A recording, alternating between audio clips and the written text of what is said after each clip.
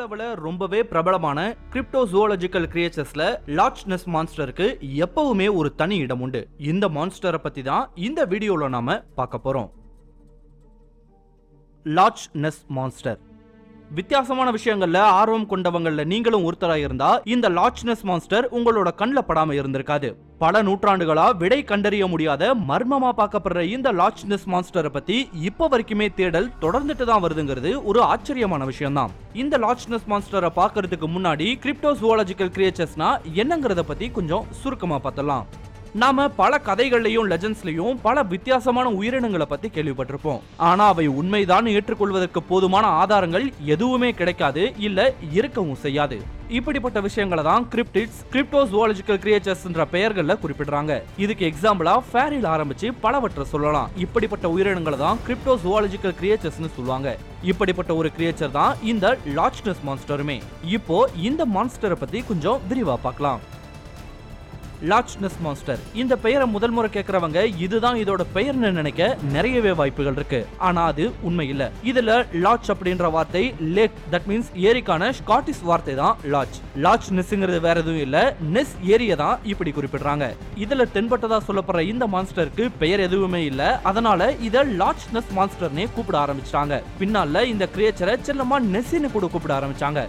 இதோட first appearance எப்பன்னு பார்க்கும்போது கிபி ஐநூற்று அறுபத்தி ஐந்துல இருந்து ஆரம்பமாகுது. அப்போ செயின் கொலம்பான்ற ஒரு ஐரிஷ் மிஷினரி ஒருத்தர் இந்த பகுதிக்கு வர்றாரு. அப்போ இந்த பகுதியில் இருந்த மீனவர்கள் இப்படி ஒரு உயிரினம் இந்த ஏரியில வாழ்ந்ததை பத்தியும் அது தங்களை தாக்குனதை பத்தியும் கதைகளை சொல்றாங்க. அதுக்கு பின்னாடி அந்த செயின் அவராவே இந்த ஏரிக்கு போய் இந்த உயிரினத்தை பார்த்த மாதிரி கதை போகுது. இதுதான் நெஸ்ஸியோட ஃபர்ஸ்ட் அப்பியரன்ஸ் அதை தொடர்ந்து இப்போ வரைக்குமே அதாவது ரெண்டாயிரத்தி பத்தொன்பது வரைக்குமே ஆயிரம் முறையாவது இந்த லேக்ல தான் அந்த மிருகத்தை பார்த்ததா பல பேர் பதிவு செஞ்சிருக்காங்க. செய்தித்தாள்கள் வெளிவர ஆரம்பிச்சதுக்கு பின்னாடி அதுலயும் இதை பத்தின செய்திகள் நிறையவே வெளியாகிருக்கு இருபதாம் நூற்றாண்டோட ஆரம்பம் வரைக்குமே இது இன்னும் பெருசா லைம்லைட்ல எல்லாம் வரல. ஆனா இருபதாம் நூற்றாண்டுல அதுவும் குறிப்பா ஆயிரத்தி தொள்ளாயிரத்தி முப்பதுகள்ல இதை பத்தின செய்திகள் மறுபடியும் வெளியே வர ஆரம்பிச்சது. அப்பதான் இதை ஒரு மான்ஸ்டர்னு கூட பல பேர் அழைக்க ஆரம்பிச்சாங்க. ஏன்? அப்போ வரைக்குமே இப்படி ஒரு உயிரினம் இருக்குன்றதுக்கான போட்டோ ஆதாரம் கூட எதுவுமே கிடையாது. ஆயிரத்தி தொள்ளாயிரத்தி முப்பதுகள்ல இந்த நிலை மாறி மறுபடியும் மெஸ்ஸி லைம் லைட்டுக்குள்ள வர ஆரம்பிச்சது. காரணம் ஆயிரத்தி தொள்ளாயிரத்தி முப்பத்தி மூன்றாம் ஆண்டுல ஹக் கேரினால எடுக்கப்பட்ட ஒரு போட்டோ இந்த போட்டோ ரொம்பவே கிரைனியா இருந்தது மட்டும் இல்லாம இது ஒரு ஃபேக் ஆனதுன்னு கண்டுபிடிச்சிட்டாங்க. இதுக்கப்புறம் அதே ஆண்டு ஜார்ஜ் ஸ்பைசர் என்ற ஒரு நபர் இந்த லார்ஜ்னஸ் மான்ஸ்டரை முழுமையா பார்த்ததாவும் அதோட வடிவத்தையும் வெளியே சொன்னாரு. அவர் சொன்ன வடிவத்தை வரைஞ்சு பார்க்கும்போது டைனோசர்கள் காலத்துல வாழ்ந்த ஒரு வகை உயிரினமான பிளெசியோசாரோட உருவத்தோட இது மேட்ச் ஆகி இருந்ததால இந்த உயிரினம் தான் இந்த ஏரியில இன்னுமே உயிரோடு இருப்பதா பலருமே நம்ப ஆரம்பிச்சாங்க. இது ஒரு பக்கம் அப்போ பரபரப்பாவே பேசப்பட்டுச்சு. ஆனா இந்த உயிரினம் உண்மையில அறுபத்தி ஆறு மில்லியன் ஆண்டுகளுக்கு முன்னாடியே அழிஞ்சு போயிடுச்சு.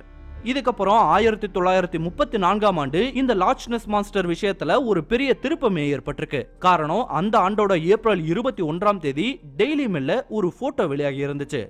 போட்டோ வெளியான சமயத்துல இதுக்கு சர்ஜன்ஸ் போட்டோன்னு மட்டும்தான் பெயர் வச்சிருந்தாங்க. ஆனா பின்னால இத லண்டனை சேர்ந்த கைனகாலஜிஸ்டான ராபர்ட் கென்னட் வில்சன் தான் எடுத்தாருங்கிற விஷயம் வெளியே தெரிய வந்துருச்சு. இந்த போட்டோ லார்ஜ்னஸ் மாஸ்டர் சம்பந்தமா பல விவாதங்களை கிளப்பிச்சு. அவ்வளோ ஏன்? கிட்டத்தட்ட ஐம்பது வருடங்களுக்கு இதை ஒரு சாலிட் ப்ரூஃபாவே நம்பினாங்க. அதை தொடர்ந்து பல ஆராய்ச்சிகள்ல பலர் ஈடுபட்டாங்கன்றதெல்லாம் வேற விஷயம். ஆனா இந்த போட்டோ பத்தின உண்மை ஆயிரத்தி தொள்ளாயிரத்தி எழுபதுகளோட இறுதியில வெளியே வந்துருச்சு. காரணம் இந்த போட்டோ ஒரு ஃபேக் போட்டோன்றதை கண்டுபிடிச்சிட்டாங்க. இதுக்கப்புறம் அதாவது ஆயிரத்தி தொள்ளாயிரத்தி முப்பத்தி நான்குக்கு அப்புறம் ஆயிரத்தி தொள்ளாயிரத்தி முப்பத்தி எட்டு ஐம்பத்தி நான்கு ஐம்பத்தி ஐந்து அறுபது எழுபத்தி ஏழு ரெண்டாயிரத்தி ஏழு ரெண்டாயிரத்தி பதினொன்னு பதிமூணு பதினான்கு பதினஞ்சு ஏன் ரெண்டாயிரத்தி பதினெட்டுல கூட இந்த லாச்னஸ் மாஸ்டரை தான் பார்த்ததாகவும் அது சம்பந்தமான எவிடன்ஸை வெளியிட்டாங்க. ஆனா பலகட்ட ஆராய்ச்சிகளுக்கு பிறகு இவற்றில் ஆல்மோஸ்ட் எல்லாமே போலியானவைன்னு தெரிய வந்துச்சு. இதுல போட்டோஸ்னு மட்டும் இல்லாம வீடியோஸ் சில சோனார் ரீடிங்ஸ்னு பல விஷயங்கள் வெளியிடப்பட்டுச்சு. இதுல ஒரு ஆச்சரியமான விஷயம் என்னன்னா இப்படி சப்மிட் பண்ண ப்ரூஃப்ல ஒரே ஒரு ப்ரூஃப் உண்மையாவே பலரையும் யோசிக்க வச்சுது. அந்த ப்ரூஃப் என்னன்னா ஆயிரத்தி தொள்ளாயிரத்தி அறுபதாம் ஆண்டு டிம் டின்ஸ்டேலால பதினாறு மில்லிமீட்டர் ஃபிலிம் ரோல்ல எடுக்கப்பட்ட ஒரு வீடியோ கிளிப்பிங் தான் அது. பலகட்ட சோதனைகளுக்கு பிறகு இந்த வீடியோல ஏதோ ஒரு உயிரினம் தான் மாட்டி இருக்குன்னு பலருமே நம்பினாங்க. அது லார்ஜ்னஸ் மான்ஸ்டர் தான் கூட சிலர் நம்பினாங்க. ஆனா இன்னொரு பக்கம் இது அந்த உயிரினம் தானான்ற சந்தேகமும் எழுப்பப்பட்டுச்சு. இதை தவிர ஆல்மோஸ்ட் எல்லாமே ஃபேக்கா தான் இருந்ததுன்றதும் குறிப்பிட வேண்டிய ஒரு விஷயம். இதெல்லாம் தனி மனிதர்களால் லாச்னஸ் சம்பந்தமாக வெளியிடப்பட்ட விஷயங்கள். இவங்க மட்டும் இல்லாம இந்த லாச்னஸ் மாஸ்டரை தேடி பல எக்ஸ்பெடிஷன் டீம்ஸும் இந்த ஏரியில தேடி போயிருக்காங்க. அதுவும் ஒன்னு ரெண்டு தடவையெல்லாம் இல்ல கிட்டத்தட்ட பத்து தடவைக்கும் மேலேயே இங்க எக்ஸ்பெடிஷன் நடத்தப்பட்டிருக்கு. இப்படி போன எல்லாருமே சோனார்ல ஆரம்பிச்சு அண்டர் வாட்டர் கேமரான்னு பல தொழில்நுட்பங்களை பயன்படுத்தி தேடி பார்த்துட்டாங்க. பட் எந்த ஒரு பிரயோஜனமும் இல்லை. சில சந்தேகமான விஷயங்கள் கண்டுபிடிக்கப்பட்டாலும் அதை ப்ராசஸ் பண்ணும்போது அவை லார்ஜ்னஸ் மான்ஸ்டர் இல்லைன்றத ரொம்ப தெளிவாகவே தெரியப்படுத்துச்சு. இதனால இந்த எக்ஸ்பெடிஷன் டீம்ஸ்ல முக்கால்வாசி பேர் லார்ஜ்னஸ் மான்ஸ்டர்னு ஒன்று இல்லவே இல்லை. இது வெறும் கட்டுக்கதை தான் அடிச்சு சொன்னாங்க. இருந்தாலும் இந்த நெசி மேல நம்பிக்கை கொண்டவங்க இல்ல இல்ல இந்த மான்ஸ்டர் உண்மையாவே இந்த ஏரியில இருக்குன்ற மாதிரி தான் நம்பிக்கிட்டு வந்தாங்க. இந்த லாச்னஸ் மான்ஸ்டரோட மிஸ்டேக்கு முடிவு கட்டும் விதமா இரண்டாயிரத்தி பதினெட்டாம் ஆண்டு இதுக்கு ஒரு அட்வான்ஸ் டெக்னிக்கை பயன்படுத்தி தேடுதலை நடத்த ஆரம்பிச்சாங்க. அந்த டெக்னிக்கோட பெயர் என்விரான்மெண்டல் டிஎன்ஏ டெக்னிக்ஸ் இதை சுருக்கமா இ டிஎன்ஏ டெக்னிக்ஸ் சொல்லுவாங்க.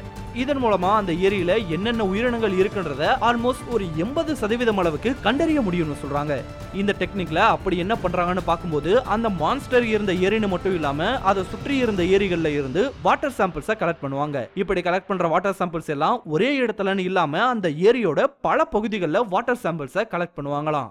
இந்த ஒரு ஆராய்ச்சிக்காக மொத்தமா இருநூற்றி ஐம்பது வாட்டர் சாம்பிள்ஸ் கலெக்ட் பண்ணதா ஒரு டேட்டா இருக்கு. அப்படி கலெக்ட் பண்ண வாட்டர் சாம்பிள்ஸை சோதனைக்குட்படுத்தி அங்கே கிடைக்கிற டிஎன்ஏ சாம்பிள்ஸை வச்சு அந்த ஏரியில எந்தெந்த மாதிரியான உயிரினங்கள் வாழ்ந்திருக்கலாம்னு கண்டுபிடிச்சாங்க. இதுல எண்பது சதவீதம் அக்யூரேட்டாவே இருந்தாலும் மீதி இருபது சதவீதம் அன்னோன் டிஎன்ஏவா இருக்கணும். இது ஒரு சாதாரண விஷயம் தான் சொன்னாங்க ஆராய்ச்சியாளர்கள். இந்த இடிஎன்ஏ ஆராய்ச்சிக்காக கடந்த இரண்டாயிரத்தி பதினெட்டாம் ஆண்டு வாட்டர் சாம்பிள்ஸ் கலெக்ட் பண்ணப்பட்டு சோதனைக்கு உட்படுத்தப்பட்டுச்சு. அதோட முடிவுகள் சில நாட்களுக்கு முன்னாடி நியூசிலாந்துல இருக்க ஓட்டகோ யூனிவர்சிட்டியை சேர்ந்த ஜெனடிசிஸ்டான நீல் கெமல் இதை வெளியிட்டாரு. அவரோட ரிப்போர்ட் படி இங்க ஒரு பெரிய ரெப்டல் இருந்ததற்கான எந்த ஒரு தடயத்தையுமே அவங்களால பார்க்க முடியலன்னு பதிவு பண்ணியிருக்காரு. அதாவது அங்க இருப்பதா சொல்லப்படுற மான்ஸ்டர் சம்பந்தப்பட்ட எந்த ஒரு புதிய டிஎன்ஏவுமே அவங்களால கண்டுபிடிக்க முடியலையா அதே மாதிரி இந்த சர்வேல இங்க எடுக்கப்பட்ட வாட்டர் சாம்பிள்ஸ்ல மீன்கள் பறவைகள் பன்றிகள் மான்கள் பாக்டீரியாக்கள் ஏன் மனிதர்கள் உட்பட ஏறக்குறைய மூன்றாயிரம் வகை ஸ்பீசிஸோட டிஎன்ஏ சாம்பிள்ஸை அவங்க கண்டுபிடிச்சாங்களாம் ஆனா நிசி சம்பந்தமான எந்த ஒரு டிஎன்ஏ சாம்பிளையும் அவங்களால கண்டுபிடிக்க முடியலன்றது அந்த சர்வேயோட முடிவு. அதோட இந்த லாச்னஸ் மாஸ்டர் என்னவா இருக்கும்ன்ற கேள்விக்கும் அந்த ஆராய்ச்சியிலேயே கிட்டத்தட்ட பதில் கிடைச்சிருக்குன்னு சொல்லலாம். எப்படின்னா இந்த ஏரியில ஈல்கள் அதிக அளவுல இருந்திருக்கு. அதாவது இவங்க எடுத்த வாட்டர் சாம்பிள்ஸ் எல்லாத்துலயுமே ஈல்களோட டிஎன்ஏவை அவங்களால பார்க்க முடிஞ்சுதான். இத வச்சு என்ன சொன்னாங்கன்னா மேபி ஏதாவது ஒரு ஜெயிண்ட் ஈல் கூட லார்ஜ்னஸ் மாஸ்டரா தவறா புரிந்து கொள்ளப்பட்டிருக்கலாங்கிறாரு இந்த முடிவுகளை வெளியிட்ட ஜெமல். ஸோ இதை வச்சு பார்க்கும்போது அதாவது இந்த அறிவியல் ஆராய்ச்சியை வச்சு பார்க்கும்போது இந்த ஏரியில உண்மையாவே ஒரு மான்ஸ்டர் இருக்கான்றதுக்கான விடை ஆல்மோஸ்ட் கிடைச்சிடுச்சுன்னு சொல்லலாம். அதாவது இங்க எந்த ஒரு மான்ஸ்டருமே இல்ல.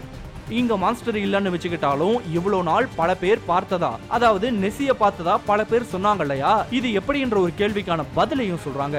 என்னன்னா இது எக்ஸ்பெக்டன்ட் அட்டென்ஷன்ற ஒரு சைக்கலாஜிக்கல் பினாமினா இருக்கலாம்னு சொல்றாங்க ஆராய்ச்சியாளர்கள். இது என்னன்னு பார்க்கும்போது ஒருத்தர் எந்த விஷயத்த அதிகமா பார்க்க விரும்புறாரோ அந்த விஷயம் உண்மையாவே இருக்க மாதிரி நம்ம மூளை எடுத்துக்குமா? இந்த மாதிரியான பினாமினான் தான் இந்த நெசிய பார்த்ததா சொன்ன பல பேருக்கும் நடந்திருக்கலாம்னு சொல்றாங்க ஆராய்ச்சியாளர்கள். அதே மாதிரி வேறு ஏதாவது ஒரு உயிரினத்தை கூட லாச்னஸ் மான்ஸ்டர் தான் மிஸ் ஐடென்டிஃபை செஞ்சிருக்கவும் வாய்ப்புகள் அதிகமாவே இருக்குன்றதும் இவங்களோட ஒரு கருத்தா இருக்கு. இது மட்டும் இல்லாம இந்த லாச்னஸ் மான்ஸ்டர் பத்தின கதைகளும் ஏகப்பட்டது இருக்கின்றது. கூடுதல் தகவல். இப்போ மேற்கொள்ளப்பட்டிருக்க இந்த இ டிஎன்ஏ ஆராய்ச்சியின் மூலமா இந்த லார்ஜ்னஸ் மான்ஸ்டர் பத்தின மர்மத்துக்கு ஒரு விடை கிடைச்சிருக்குன்னே சொல்லலாம். இருந்தாலும் இந்த புது சர்வேல கிட்டத்தட்ட எண்பது சதவீதம் டிஎன்ஏவை தான் அக்யூரட்டா குறிப்பிட முடியும். மீதி இருபது சதவீதத்தை அன்னோன் டிஎன்ஏவை தான் பார்ப்பாங்கன்னு சொல்லலையா? இந்த ஒரு விஷயத்தை வச்சு நெசி உண்மைன்னு நம்புறவங்க இந்த ஏரியில ஏன் ஒரு மான்ஸ்டர் இருக்கக்கூடாதுன்னு இன்னுமே நம்பிட்டு இருக்காங்க இவங்களுக்கா இந்த விஷயம் புரியற வரைக்கும் இந்த லார்ஜ்னஸ் மான்ஸ்டர் பத்தின மர்மம் நீடிச்சுக்கிட்டே தான் வரும். இந்த லார்ஜ்னஸ் மான்ஸ்டர் கதையை பேஸ் பண்ணி இது வரைக்கும் ஏகப்பட்ட நாவல்கள் வாட்டர் ஹார்ஸ் மாதிரியான திரைப்படங்களும் வெளியாகி இருக்கின்றது ஒரு கூடுதல் தகவல்.